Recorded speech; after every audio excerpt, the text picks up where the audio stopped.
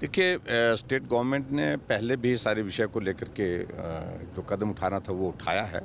लेकिन वर्तमान में अभी मैं सिर्फ़ इतना ही कहना चाहता हूँ कि आदरणीय प्रधानमंत्री जी ने जो बहुत महत्वपूर्ण निर्णय लिया, जिस जिससे पूरे देश की जनता को बहुत बड़ा लाभ होगा।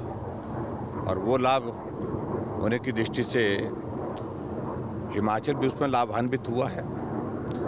डीजल की कीमत, पेट्रोल की कीमत में बहुत ज़्यादा कमी करने के साथ साथ में उज्ज्वला योजना के अंतर्गत भी जो गैस का सिलेंडर है, उसमें भी दो सौ रुपये की सब्सिडी देना।